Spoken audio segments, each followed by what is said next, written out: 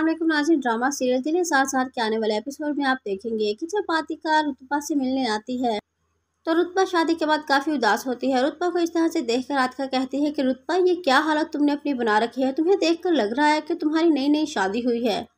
जिस पर रुतबा कहती है कि, नहीं आतिका आप ऐसी कोई बात नहीं है। आपको अच्छी तरह से पता तो है कि मुझे इसी तरह से रहने की आदत है। जिस पर आतिका कहती है कि तो ये आदत छोड़ दो ना तुम अपने शोहर के घर में हो और खुदा की नियमतों का तुम्हें शुक्र अदा करना चाहिए कि तुम्हें इस घर में किसी भी चीज़ की कमी नहीं है तो तुम्हें अपने आप को संवारना चाहिए। कहीं ऐसा तो नहीं कि शाहपारा भाभी आपको तंग करती हैं तो जिस पर उत्पा कहती है कि नहीं आती आप ही ऐसी कोई बात नहीं। लेकिन आप देखेंगे कि फोर्स करने पर उत्पा बता देती है कि शाहपारा किस तरह से रईस को हर वक्त रुतपा के खिलाफ भड़काती रहती है। ये बात सुनकर आतिका कहती है कि मैं पहले ही जानती थी कि शाहपारा भाभी से ये कभी भी बर्दाश्त नहीं होगा कि तुम खुश रह पाओ, इसलिए उसने अपनी चाल तो चलनी ही थी। लेकिन तुम फ़िक्र ना करो, मैं बात करती हूँ रईस भाई से और कहती हूँ कि वो आज ही तुम्हें कहीं अलग घर पर रखे। आखिर सारी प्रॉपर्टी का हिस्सा तो सबसे ज़्यादा रईस का है ना? तो ये सब देखेंगे आने वाले एपिसोड में। वीडियो अच्छी लगी हो तो लाइक कर दीजिएगा। फिर मिलते हैं। अल्लाह हाफिज़।